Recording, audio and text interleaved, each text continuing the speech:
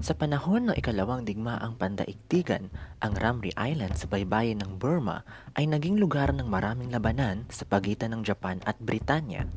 Ngunit ang tunay na nakakatakot na aksyon ay nagsimula lamang matapos ang mga maniobra ng mga militar. Noong Enero 26, 1945, ang mga British troops ay nagtungo sa Ramri Island upang makapagtatag ng isang bagong airbase. Gayunpaman, kinailangan nitong itaboy ang Japanese invasion force na una nang inangkin ang isla. Matapos ang isang madugo ngunit matagumpay na kampanya laban sa mga Hapones, nagawa ng mga sundalong British na mapaalis ang halos 1,000 Japanese combatants na sila namang tumungo sa mga bakawan na may lawak na 10 miles sa loob ng Ramri Island. Habang ito ay maaaring mukhang isang mahusay na pagkakataon para sa mga Japanese na makalusot papunta sa kagubatan at doon ay makapag-regroup ang Imperial Army, karamihan sa mga sundalong Hapong nagtungo at tumakas papunta sa mga bakawang ito ay hindi na maririnig pang muli. Ang kaganapang ito ay isa sa mga pinaka nakapangingilabot na insidente sa kasaysayan ng pakikidigma.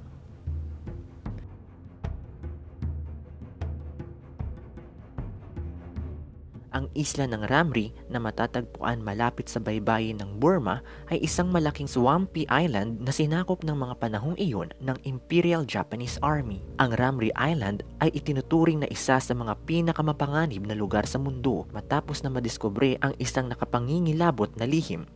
Sa oras na iyon, ang mga puwersang British ay nangangailangan ng isang airbase sa lugar ng Ramri Island upang mailunsad ang higit pang mga atake laban sa Imperial Japanese Forces. Gayunpaman, libu-libong mga tropa ng Hapon ang humawak at may kontrol sa nasabing isla na naging sanhi ng isang nakakapagod na labanan na nagpatuloy at umabot pa sa anim na linggo. Ang dalawang panig ay naipit sa isang standoff hanggang sa ang British Royal Marines kasama ang 36 Indian Infantry Brigade ay naabutan ng posisyon ng mga Hapon.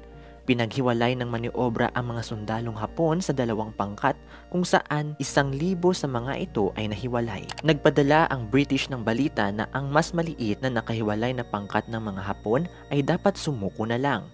Ang maliit na unit ng mga sundalong Hapon ay natrap at wala ng iba pang paraan upang maabot ang kaligtasan patungo sa mas malaking batalyon.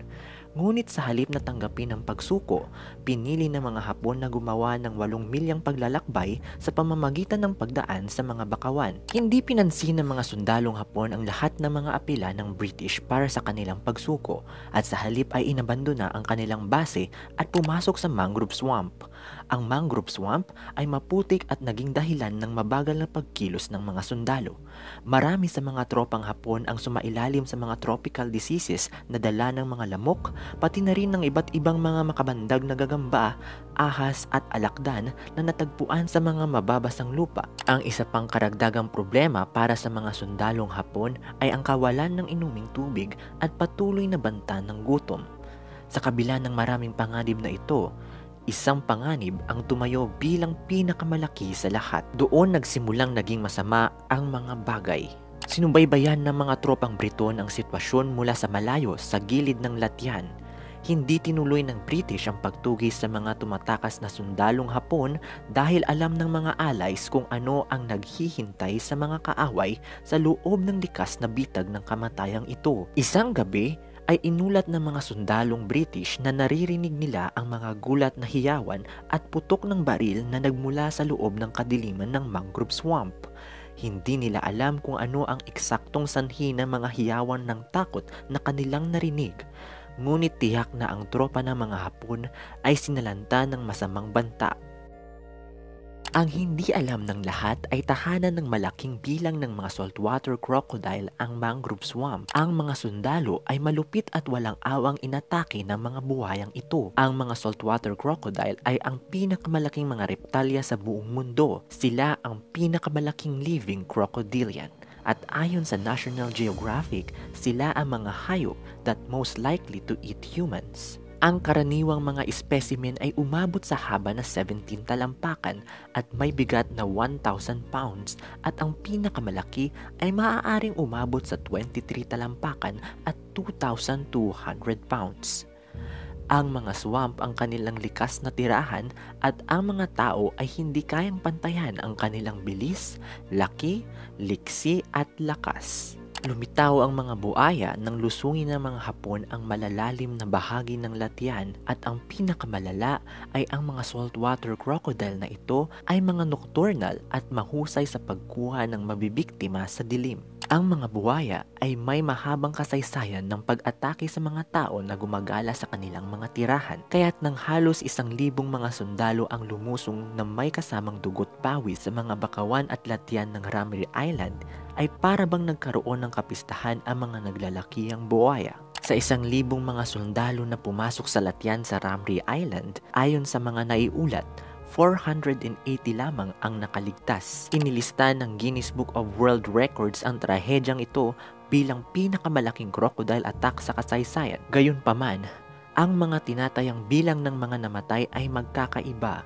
Ang sigurado lamang ay ang 20 kataong nadakip ng mga British na labis na nasugatan at ligtas na nakalabas ng latyan na naaresto. Sinabi ng mga tropang Hapon sa mga dumakip sa kanila ang tungkol sa mga buwaya ang mga nakaligtas ay naiulat na nagsabi ng kakilakilabot na mga kwento ng dose-dose ng mga buwaya na umatake sa mga sundalo ng maramihan at lumilitaw sa iba't ibang direksyon upang mga ladkad ng mga sundalo. Ang mga gabi ay sinasabing na puno ng matinding hiyawan, putok ng baril at mga tunog ng pag-atake ng hayop. Ngunit isang katanungan ay kung gaano karaming mga kalalakihan ang namatay sa mga bunganga ng mga makapangyarihang buhaya na siyang nananatiling debate dahil walang nakakaalam kung gaano karaming mga tropa ang sumuko sa sakit, pagkatuyot o gutom na taliwas sa predation.